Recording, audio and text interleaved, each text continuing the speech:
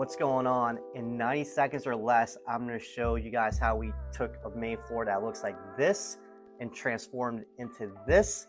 I'll also go over the key highlights of this project and exactly how much a project like this would cost. The key highlights for this particular project was we had to relocate the kitchen from the center of the home towards the corner of the home.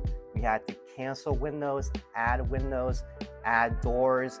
We repaired the drywall throughout the entire main floor, painted the entire main floor, and also changed the hardwood and updated the fireplace. This is a floor plan of the main floor renovation that we worked on.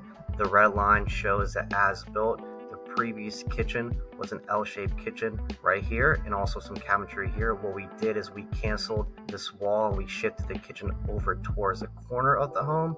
Some other work that we did is we repaired the drywall, we hung new drywall, painted the entire main floor, we replaced the hardwood flooring and trim throughout the main floor and we updated the fireplace. A main floor renovation similar to this with us will take anywhere between 12 to 14 weeks from the day that we start to the day that we're 100% finished. And a main floor renovation with similar finishes like this one would cost around 135,000 to 150,000 pending any complications your particular home may have.